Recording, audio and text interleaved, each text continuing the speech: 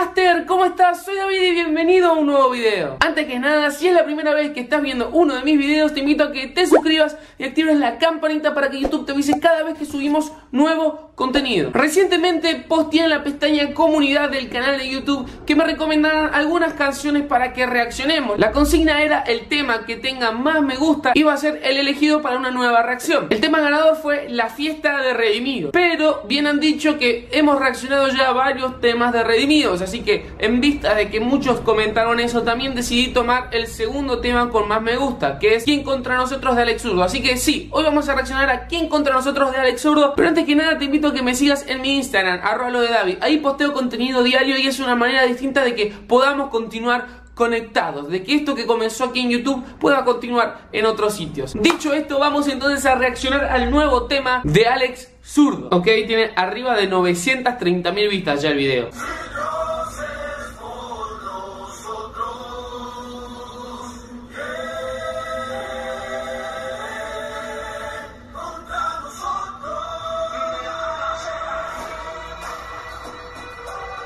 Bueno, el video arranca bastante interesante, ¿no? Con estas poses de entrenamiento y de boxeo, como esta onda de no rendirte, ¿no? Como esta idea, que también está en el tema de redimidos, ¿quién contra mí, ¿no? como si Dios está conmigo, no hay nadie que se me pueda oponer. Es un concepto que en realidad viene de la carta que Pablo escribe a los romanos, uno de los versículos más populares quizás de toda la Biblia. Así que em, es algo que se usa mucho en prédicas, que también se usa en canciones. De hecho, hay una canción muy vieja que es de Chris Tomlin, que es eh, Our God que, justamente dice eso al final, ¿no? Si Dios es por nosotros, ¿quién podrá de...? O sea, es un pasaje que está bastante arraigado dentro de la fe cristiana y, y está bueno verlo en canciones, está bueno verlo en raps también, así que vamos a ver cómo sigue, cómo sigue este tema.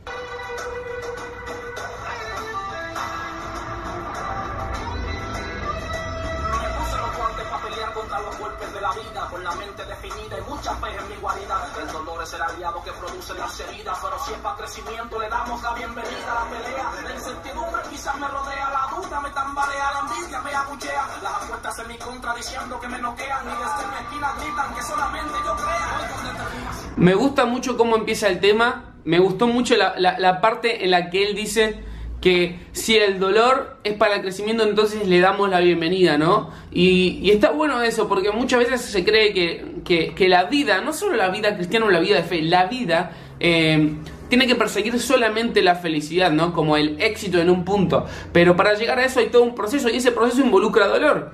A ver, en el medio de cuando uno crece, ¿qué pasa? Pega el estirón, tiene fiebre y, en ese crecimiento de, de, niño a adolescente, adolescente adulto, donde va cambiando el cuerpo, hay un dolor. De hecho, la palabra es adolescente de adolecer.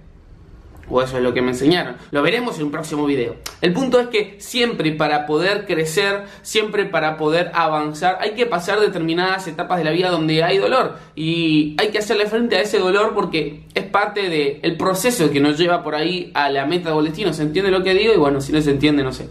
Googlealo. más alto y promete hacerme daño, pero la grandeza no tiene que ver con el tamaño. Puedo hablarle un ejército, puedo vencer un león, solo pelear contra un oso rabioso, feliz gruñón. Hoy la victoria es el aire que entra a cada pulmón, la convertimos en canción, pregúntale a Faraón, ¿quién fue que Hace una referencia a la historia del rey David en el medio, no sé si la notaron, ¿no? Que vence ejércitos, que vence gigantes porque no importa el tamaño, que vence leones, que vence osos. El rey David, así como era jovencito, pequeño, mataba osos, mataba leones para cuidar a las ovejas, a su rebaño, eh, venció ejércitos y venció a gigante goleado. O sea, eh, está ilustrando eh, ejemplos bíblicos como de David, después habla también de Faraón y, del ejemplo del pueblo de Israel ganándole al ejército de Egipto, que en realidad Dios le gana, ¿no? Pero está usando esos ejemplos para ilustrar esta verdad que es eh, no importa cuál es mi condición, no importa lo que yo esté pasando, no importa que se vea imposible adelante, Dios está conmigo y como Dios está conmigo puedo hacer todas estas cosas.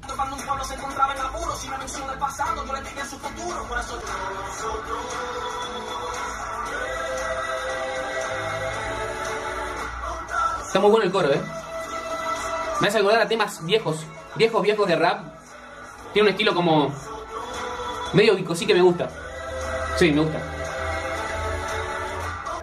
Siempre profeso, certeza que me llega hasta los huesos. La envidia la aldea, pero es la fuerza de mi progreso. El pasado llama a no perder el tiempo, no esconderme, pues no tiene nada nuevo que contarme. Yo estoy listo, actitud correcta, postura perfecta y la coraza de justicia que me cuesta. Quizás podrán medirme, lanzarme al suelo con sus rodeos, pero desde el suelo clavo y hacia donde más peleo.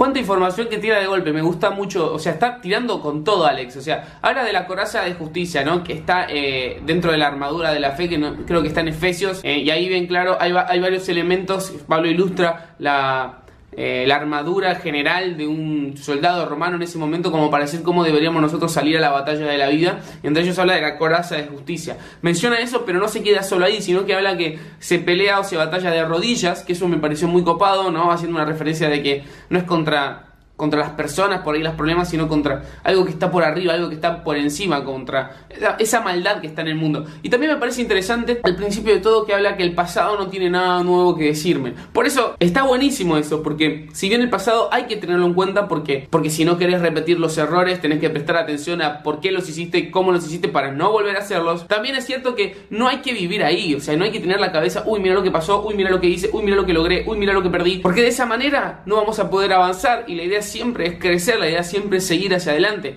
Bueno, ese es el enfoque del tema, está bastante bueno, tiene muchas cosas, muchos valores muy interesantes que rescatar y la verdad es que hacía mucho que no veía a Alex Zurdo como con este nivel de rap, ¿me entendés? Como que lo veo súper, súper, súper fluido, con rimas muy buenas, no, no lo veo con rimas estándar, no lo veo, bien, me gusta mucho este tema y de vuelta, no soy gran fan de Alex Zurdo, pero me está encantando.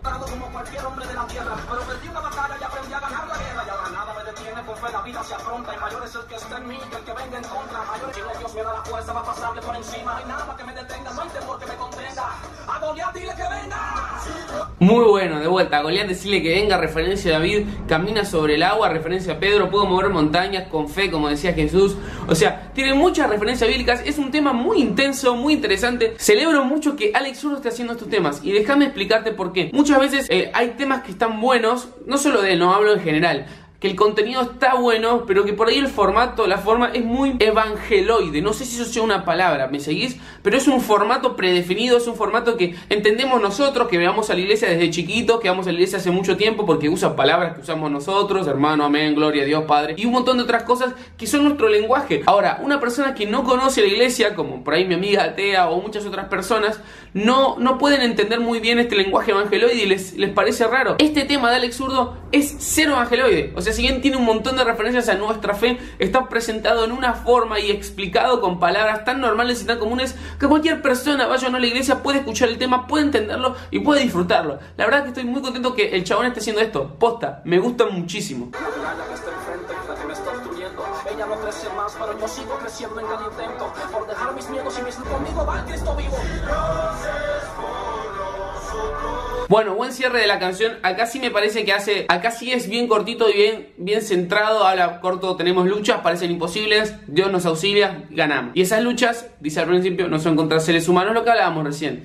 Eh, de verdad, me gusta el tema. Gracias por recomendarlo porque no lo había escuchado. Así que me llevo una buena canción para sumar a mi lista de reproducción de Spotify. Por cierto, ¿les gustaría que hagamos un video contando qué canciones, qué temas están en nuestra lista de reproducción de Spotify? Recomendando canciones. Déjamelo acá abajo en un comentario si así es. Y bueno amigos, esto ha sido todo por hoy. Si el video te gustó, te invito a que le des al botón me gusta que está acá abajo y a que lo compartas con un amigo para que cada vez podamos ser más y más lo que disfrutamos de esta pequeña familia y comunidad que se ha ido construyendo. Mi nombre es David y no te olvides que Jesús te ama y que yo también. Nos vemos la próxima. Poca.